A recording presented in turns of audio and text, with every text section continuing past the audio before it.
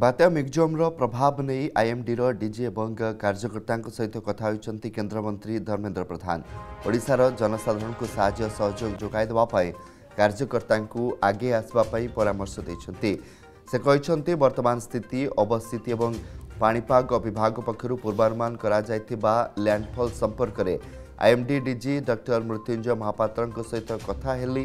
ଦକ୍ଷିଣ ଓଡ଼ିଶାର ବିଭିନ୍ନ ଜିଲ୍ଲା ଏହି ବାତ୍ୟା ଦ୍ୱାରା ପ୍ରଭାବିତ ହେବାର संभावना रही तेणु एभली समय प्रशासन द्वारा जारी करत्या सतर्कता सूचना मानवाई जनसाधारण को अनुरोध कर प्रधानमंत्री नरेन्द्र मोदी सरकार बात्यार मुकबाला सहित सहायता जगैदेप्रतिश्रुतिबद्ध जनसाधारण को आश्वस्त करमेन्द्र प्रधान